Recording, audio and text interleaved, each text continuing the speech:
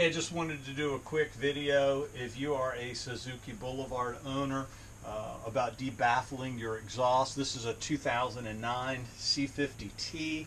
There are a lot of videos out there about debaffling, but there were a few details that I ran into uh, that I wanted to be able to share with you in case you're a 2009 owner.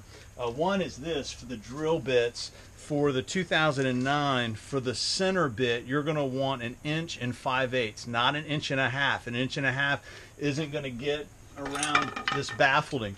But you'll see here the inch and the 5 eighths gets right around it. So you're going to need two uh, hole bimetal bits. If you're relatively new to this, don't get the bits that have the permanent arbor already on it.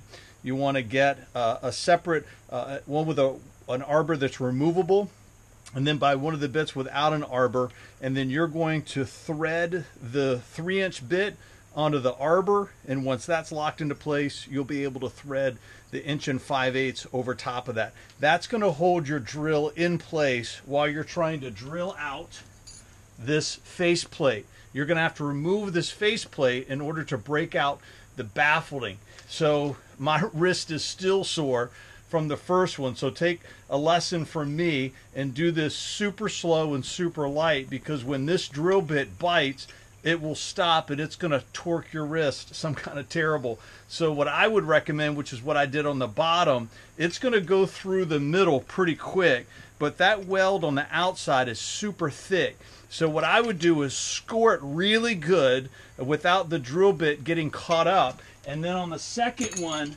I went around it with this heavy duty screwdriver once it was scored and tapped it uh, with this uh, three pound hammer and then broke it away the rest of the way. Now that's going to leave a jagged edge, but that's going to get smoothed out from you sticking the broomstick into the uh, baffling and then just running that thing around.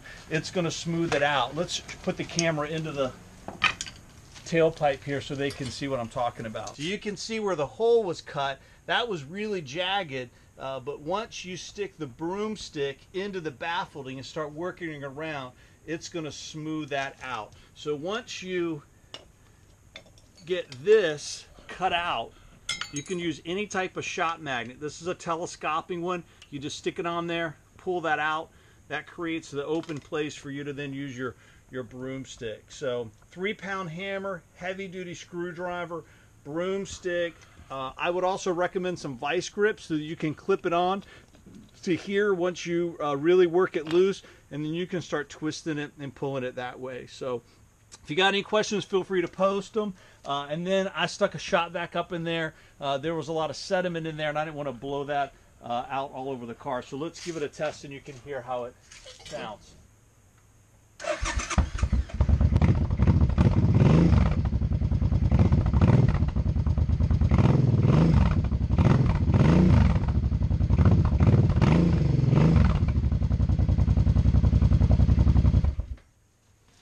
Big bike sound for a Suzuki. Good luck, be safe, have fun.